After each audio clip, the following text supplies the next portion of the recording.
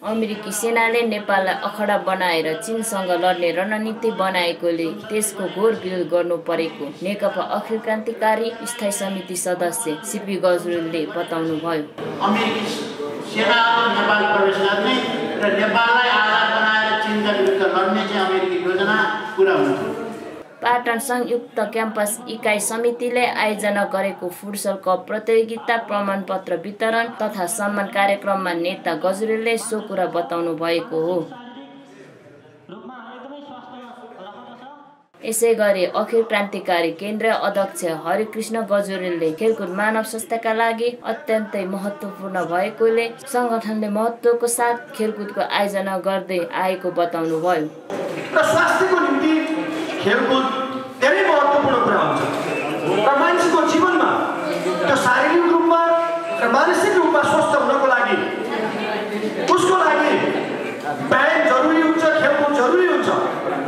कार्यक्रममा प्राध्यापक सङ्घका केन्द्र अध्यक्ष जगदीश चन्द्र भण्डारी अखिल क्रान्तिकारी केन्द्र उपाध्यक्ष सिलु नेपालीले आफ्नो धारणा व्यक्त गरे।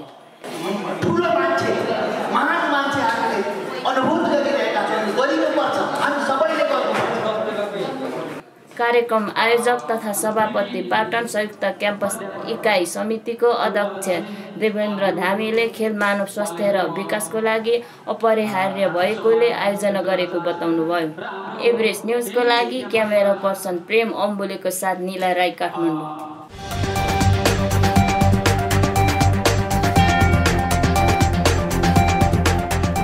सत्य तथ्य निष्पक्ष अनि खोजमूलक समाचारको साथमा एभरेस्ट न्युज।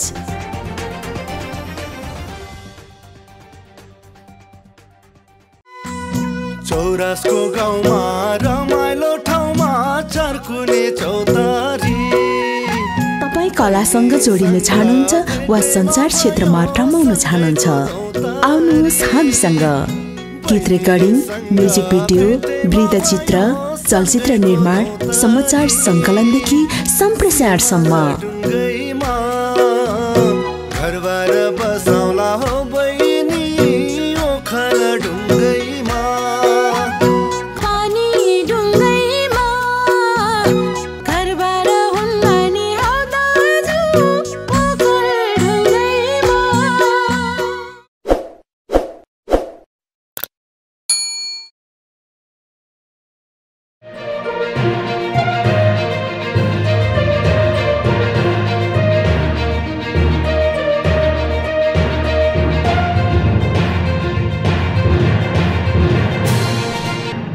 तपाईँ हेर्दै हुनुहुन्छ एभरेस्ट न्युज।